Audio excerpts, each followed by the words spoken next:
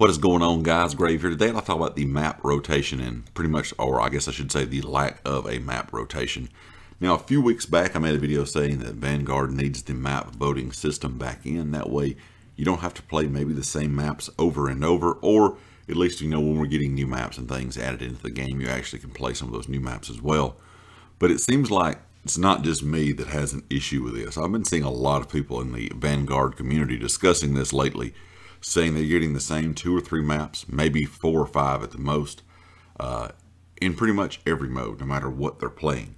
Uh, some people talked about before they thought this was due to pacing, which it could be. And I think pacing is a unique, neat feature within Vanguard, but I also think it hurts the game at the same time. I've talked about in past videos how it's like games never fill up with players, and of course I think that has something to do with pacing because there's three different pacing options.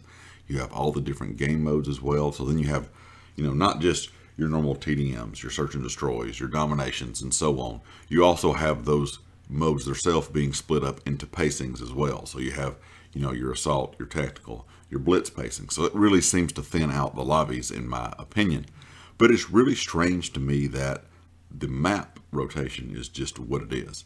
And I'm not sure if they did this, you know, for a reason, you know, that they decided to do the pacing and add, you know, different maps in depending on what pacing you're playing.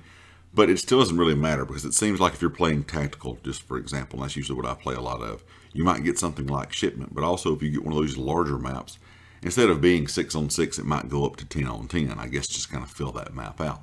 But it seems like I get, I'm going to say probably the same five maps every time I play Vanguard. I'm playing the same five maps over. And a lot of times during that, I'm going to play some of those maps two or three times out of those five. And I know people have also been talking about, you know, if they change modes up, sometimes you might get something better. You know, you might get different maps. But I've seen people discussing, you know, if they're playing Patrol, Hardpoint, even Dom.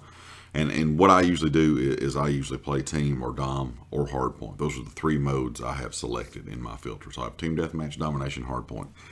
And it still feels like those are, you know, only a handful of maps that I'm, I'm playing. I have friends that like to play hardcore. I've played hardcore on tactical with those. Uh, friends of mine, still the same issue. It's only just a handful of maps. That's kind of a handful of maps. That's kind of what you're seeing in the background right now. Some hardcore team deathmatch. And we were playing this session. I think we probably played for maybe an hour or so. And it's just the same maps over and over. It's just very odd to me that this is an issue, considering we don't have the option to have map voting. You think, or you would think that the map rotation itself would be a lot better. It would be, you know, they're going through every map in the game. In my opinion, that would be the best thing to do. If you're uh, have the rotation set up so whenever you know players sit down and play, it starts with this particular map and it works it, it works its way through all the maps before you see you know something again that you've already just played.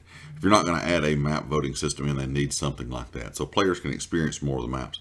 There are some of the maps on Vanguard, honestly, that I have played a lot less than others. When I get on them, I'm still not exactly sure how the map works because I play them so much uh, you know, so so less often than I would, you know, some of the other maps that I play. It seems like pretty much nonstop. Anyway, guys, leave me a comment. Let me know if you're having these issues as well with the map rotation. let me know what changes you think Sledgehammer can make to improve this. And of course, if you like the video, hit the like. If you have not subscribed yet, please do so. Be sure to check out everything down in the description, the community Discord, my Twitter, and of course the affiliates here on the channel, Empire Jerky and Amazon Associates. Also check out the merch store. It is linked in the description as well. And I'll catch you all next time. Peace.